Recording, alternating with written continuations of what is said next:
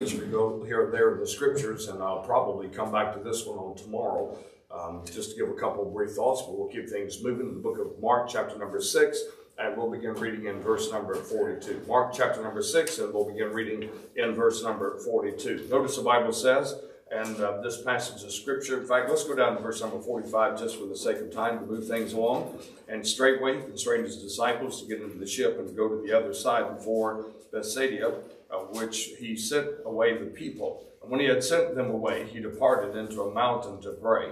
And even uh, and when he was come, the ship was in the midst of the sea, and he alone on the land. And he saw them toiling and rolling, rowing, for the wind was contrary unto them. And about the fourth watch of the night he came unto them walking upon the sea, and would have passed them by. But when they saw him walking upon the sea, uh, they supposed that it had been the spirit, and he cried out, for they all saw him and were troubled. And immediately he talked with them and saith unto them, Be of good cheer, it is I, be not afraid. And went up unto them into the uh, ship, and the wind ceased, and they were sore amazed in themselves uh, beyond measure, and wondered. For they considered not the miracle of the loaves, for their heart was hardened. In this passage of scripture, I want to just look this morning at um, one particular thought, and we'll try to give uh, two or three thoughts and uh, disconnect for this morning from this passage. But I want to speak this morning on the subject matter of troubled waters. Uh, troubled waters. All of us go through troubled waters in our life. And of course, that uh, phrase is symbolic concerning struggles, uh, challenges, sickness, uh, financial setbacks, uh, family issues, there's all types of things that we could consider this morning as troubled waters uh, in our life. And just because we're Christian, we are not immune to the troubled waters. The Bible said that God makes it rain on the just and the unjust. Uh, if a sinner gets punched in the nose, he bleeds. But guess what? If a Christian gets punched in the nose, uh, they bleed also. Uh, a sinner has to pay their bills and pay their mortgage payments, their insurance, and the medical bills and things of that nature. But guess what? So do Christians. Uh, it'd be wonderful if we were exempt from those things. I suppose it'd been, there would not be a single sinner left on the planet Earth if uh, they never got sick again, if they were to get saved and never had a bill to pay and never had any troubles or heartaches or sorrows in their life. But the truth of the matter is, uh, heartaches come to all of us, saint and sinner.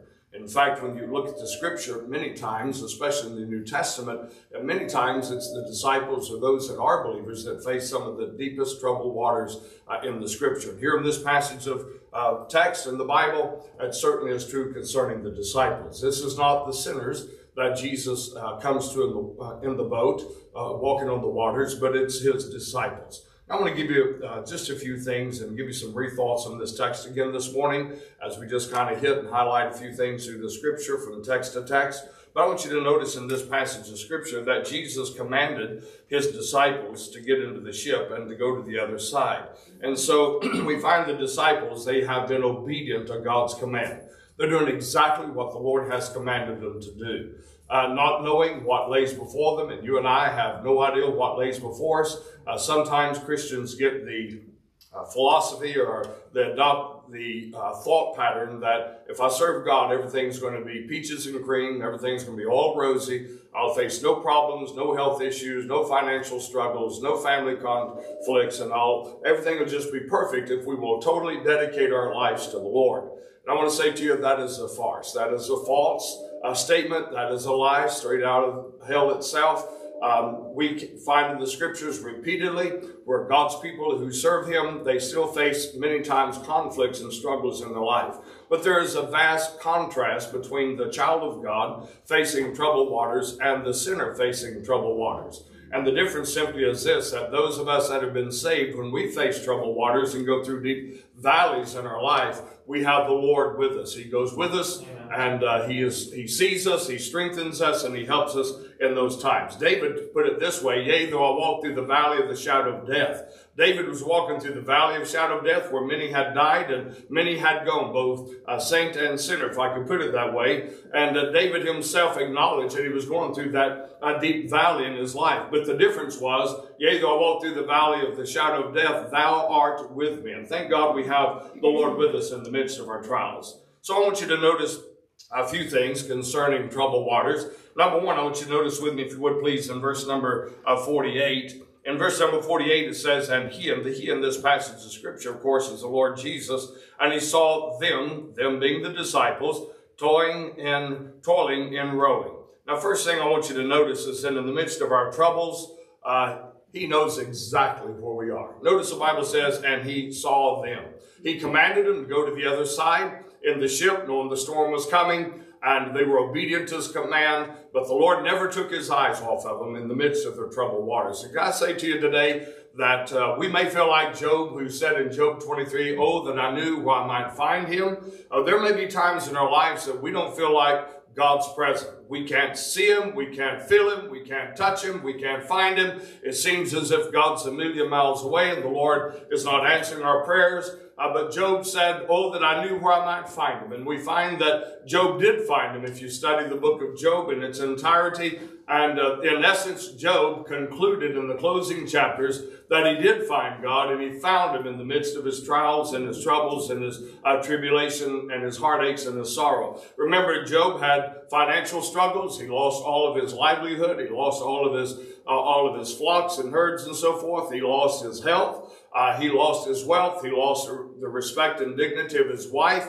And she said, why don't you curse God and die? He lost all of his family. And Job was about as low as a man could get. And in the midst of the deepest part of his life, the deepest season of his life, he couldn't find God. He said, Oh, that I knew where I might find him. But when it's all said and done, Job concluded God never forsook him. He never uh, took his eyes off, eyes off of him. In fact, he concluded in chapter number 23 that God knew exactly where he was. And so I just want to just reemphasize this morning that though we go through troubled waters and we may feel all alone, we may feel that our spouse, our family, our loved ones, our uh, closest friends and comrades have forsaken us and they're not able to help bear the burdens. I want you to know this morning and remind you that when we're going through troubled waters, even though we may not see him in the beginning of the trial and the suffering and the persecutions we're going through, God knows exactly where we are. He was not on the water at this time with them. He was still up in the mountain praying. But the whole time he was in the mountain, he was looking upon the disciples. He knew exactly where they were in the midst of their troubles. And never forget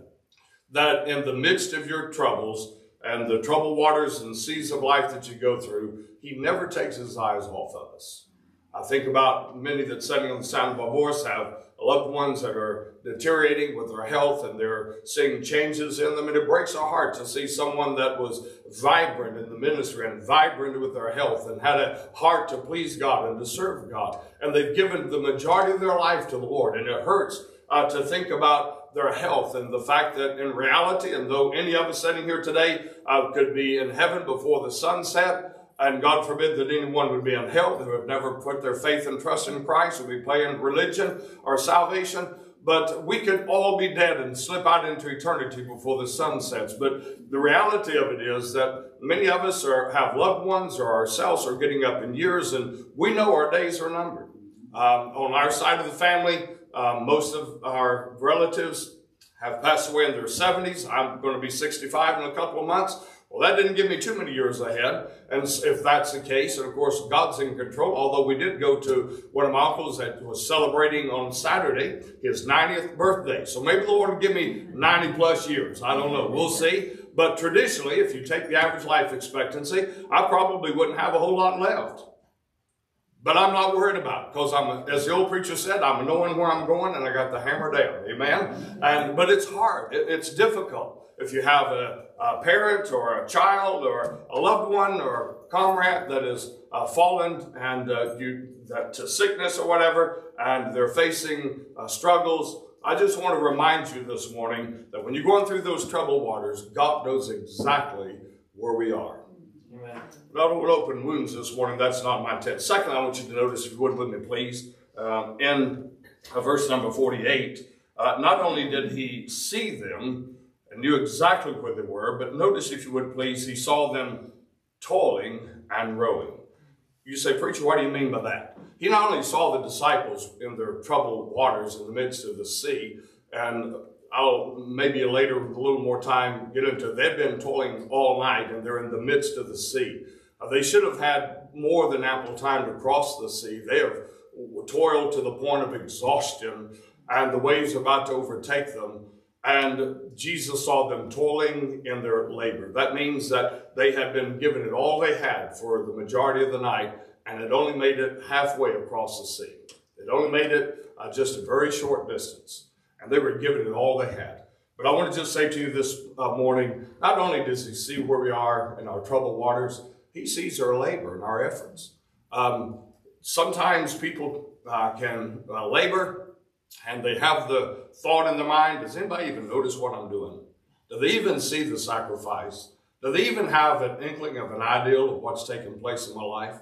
And sometimes the answer to that question is no, they don't. They because there's personal family issues you have, there's personal struggles that you're going through that you haven't shared with anyone, and maybe it's uh, because it's extremely confidential. I understand that. Others maybe because of uh, humiliation, others because of pride. I mean, there's a lot of reasons why uh, we don't share certain things with certain individuals and as groups. I understand that. But I'm just simply saying that sometimes if we don't know what all's taking place and some of the behind the scenes struggle, uh, struggles and troubles that you have, sometimes it is overlooked unintentionally. Now, somebody can say man right there.